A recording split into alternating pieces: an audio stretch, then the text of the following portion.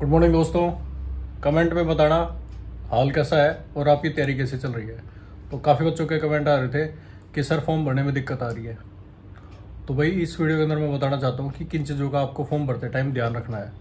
पहली बात तो ये, अगर Delhi police head constable ministerial के फॉर्म की बात की जाए तो मिनिमम से मिनिमम इसमें 10 से 12 लाख बच्चे फॉर्म भरेंगे। ये है मिनिमम इतने बच्चे तो फॉर्म भरेंगे ही भरेंगे। अब इसके अंदर क्या है, मान लो अगर दिल्ली की बात की जाए तो दो से तीन लाख बच्चे तो दिल्ली से भर देंगे। इसके अलावा जो मेजोरिटी होती है दिल्ली पुलिस के फॉर्म भरने की, वो होती है हरियाणा, राजस्थान और यूपी ये इन तीन स्टेट से मैक्सिमम बच्चे आते हैं दिल्ली पुलिस के अंदर।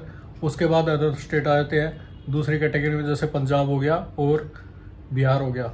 और फिर उसके अलावा सारे स्टेट्स आ जाते हैं। तो इसमें क्या है, अब ज़ाहिर सी बात है, दिल्ली के अंदर तो जगह जगह कैफ़े हैं। गाँव के अंदर हर जगह कैफ़े नहीं है। हर गाँव के अंदर कैफ़े नहीं होता है। एक कस्बा होता है, कस्बे में भी कैफ़े होता है।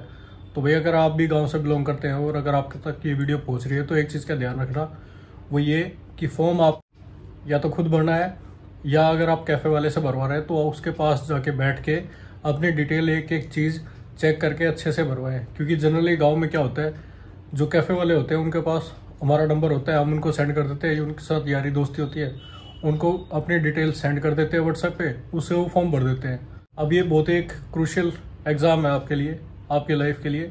तो इसके अंदर जो डिटेल है ना, वो पूरी आपकी कंफर्मेशन के साथ भरी होनी चाहिए।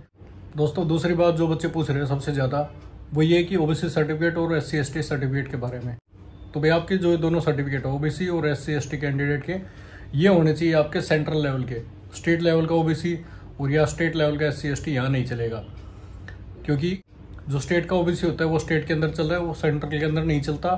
और सेंट्रल का जो ओबीसी सर्टिफिकेट होता है, वो सेंटर की वैकेंसी में चलता है स्टेट की वैकेंसी में नहीं चलता है। दिल्ली पुलिस है, ये सेंट्रल गवर्नमेंट की जॉब है तो इसके अंदर सेंट्रल का जो ओबीसी है, वही चलेगा। और ऐसे ही सेम केस है एस सी कैंडिडेट के साथ, कि भाई उनका सेंट्रल का एस सी कैंडिडेट के सर्टिफिकेट होने चाहिए। ये मेरे एक दोस्त है, मीणा है वो, राजस्थान के तो मैंने खुद उनसे कंफर्म किया है कि भाई अगर एसटी का सर्टिफिकेट है तो स्टेट का चलेगा या सेंटर का? तो उन्होंने बता दिया कि दोनों अलग से बनते हैं। स्टेट का भी बनता है और सेंटर का भी बनता है। कई बच्चे पूछ रहे हैं कि सेंट्रल के लिए मना कर दिया। तो भाई बनता है ये। अगर आप तहसील में जाएँगे तो तहसील में बनाते हो। एस का भी और एसटी का भी। दोनों का अलग अलग से बनता है। और काफ़ी बच्चे पूछ रहे हैं जो रिज़र्व कैटेगरी वाले हैं, ये कब तक ये इनकी क्रूशियल डेट क्या होगी? मतलब कब तक ये बना होना चाहिए? तो दोस्तों, एक चीज़ का ध्यान रखें।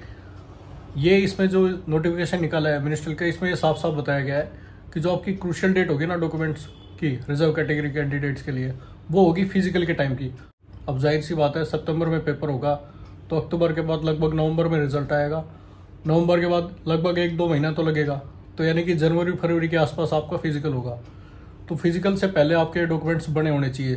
जैसे ओबीसी सर्टिफिकेट हो गया एस सी सर्टिफिकेट हो गया। और जैसे ओबीसी सर्टिफिकेट होता है कम से कम तीन साल पुराना तक चल जाता है। तीन साल से ज़्यादा पुराना नहीं होना चाहिए। तो भाई, जिसका भी अभी तक नहीं बना है, या फिर पुराना है जिसको दो साल हो चुके हैं तीन साल हो चुके हैं ढाई साल हो चुके हैं वो अपना नया बनवा ले। क्यों? क्योंकि जब आपका फ़िज़िकल होगा जब आपकी 2023 आ जाएगी जनवरी फरवरी 2023 उससे अगर तीन साल पहले की बात करें तो भाई जनवरी फरवरी 2020 यानी कि अगर 2020 से पहले का आपको भी सर्टिफिकेट वगैरह है कोई भी सर्टिफिकेट तो उसको भाई रिन्यू करवा ले। और रही बात एज की एज की तो आपको पता ही है एक, एक, एक जनवरी 2022 तक काउंट होगी। बाकी मेनली ये जो चीज़ है ये है ओबीसी सर्टिफिकेट और एस सी कैंडिडेट के सर्टिफिकेट के रिगार्डिंग और दोस्तों, तीसरी चीज़ जो सबसे ज़्यादा बच्चे पूछ रहे हैं, वो ये कि फ़ोटो अपलोड करने में दिक्कत आ रही है। फ़ोटो कैसी होनी चाहिए? भाई फ़ोटो एक तो सिंपल सी बात है। फ़ोटो तीन महीने पुरानी नहीं होनी चाहिए। जैसे ओबीसी सर्टिफिकेट है, वो आपका तीन साल पुराना नहीं चलेगा। ऐसे ही फ़ोटो आपकी तीन महीने पुरानी नहीं चलेगी। और कोशिश करें, आपके पास ऐसी फ़ोटो हो जो आप अपलोड कर रहे हो, वो जिसमें आप कैमरे की साइड फेस कर रहे हो, जो बैकग्राउंड है आपका, वो वाइट होना चाहिए। अगर और किसी कलर में भी कर दिया है तो भी कोई दिक्कत नहीं है बट फ़ोटो क्लियर होनी चाहिए। मेन बात ये है। ना आपकी ज़्यादा फ़ोटो छोटी होनी चाहिए, ना बड़ी होनी चाहिए, ना फ़ोटो ब्लर होनी चाहिए। ब्लर यानी धुंधली सी। ना ही आप यूँ चश्मे लगा के फ़ोटो खिंचवानी है, ना हेट लगा के, कैप लगा के फ़ोटो नहीं खिंचवानी है। और जो नज़रें हैं वो बिल्कुल आपकी सीधी होनी चाहिए नहीं कि आप साइड में देख रहे हैं। इन चीज़ों का ध्यान रखना है और जो फ़ोटो की विर्थ है, वो है भाई साढ़े तीन इंटू साढ़े चार। यानी साढ़े तीन विर्थ होनी चाहिए, साढ़े चार हाइट होनी चाहिए। जो फ़ोटो का साइज़ है वो होना चाहिए बीस के बी से पचास के बी के बीच में। और दोस्तों, रही बात फ़ोटो के ऊपर डेट की। तो अगर डेट लगी हुई है तो कोई प्रॉब्लम नहीं है उससे, उसको आप लगा सकते हैं। और ऐसे ही आपको करना है सिग्नेचर के अंदर। सिग्नेचर की जो आपको फ़ोटो है, वो भी आपके बिल्कुल क्लियर होनी चाहिए। और जब आप ये फॉर्म फिल करेंगे तो फॉर्म के अंदर जैसे जो फ़ोटो है, उसकी डेट जो है, वो आप मेंशन कर रखिए कि भाई सत्रह फरवरी 2022 से पुरानी फ़ोटो नहीं होनी चाहिए, उस पर आपको टिक भी करना है। तो भाई, अगर दी गई जानकारी से आप संतुष्ट हैं तो चैनल को सब्सक्राइब करें, ताकि लेटेस्ट नोटिफिकेशन वगैरह आपको मिलती रहे। बाकी अगर आपको वीडियो पसंद आए हो तो वीडियो को डिसलाइक करें और जो भी भाई अगर ये चैनल छोड़ के जाते हैं तो कम से कम बता के जाए भाई किस वजह से वो छोड़ के जा रहे हैं, ताकि हम उस पर काम कर सके, आपकी हेल्प कर सके। मिलते हैं आपसे नेक्स्ट वीडियो में, तब तक के लिए बाय बाय हिंद।